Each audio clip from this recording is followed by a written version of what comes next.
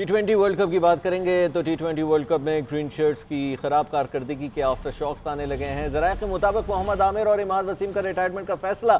दोनों क्रिकेटर्स की जानब से जल्द बाकायदा ऐलान भी मुतव है। बाबर आज़म की कप्तानी को भी झटका।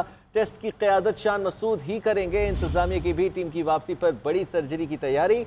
आउट ऑफ़ फॉर्म क्रिकेटर्स की छुट्टी होगी। इफ्तार अहमद आज़म खान सामयूब उस्मान खान और शादाब खान की जगह खतरे में है। टीम मैनेजमेंट भी तब्दीली का इम्कान है। सीनियर मैनेजर और सेलेक्टर वहाब रियाज को अपनी कुर्सी बचाने का चैलेंज है। कप्तान बाबर आज़म से भी टीम की कारकर्दगी पर जवाब तलबी होगी। अच्छी कारकर्दगी न दिखाने वाले क्रिकेटर्स की सेंट्रल कॉन्ट्रैक्ट में तनजली होगी। कई क्रिकेटर्स को कॉन्ट्रैक्ट से भी हाथ धोने पड़ेंगे।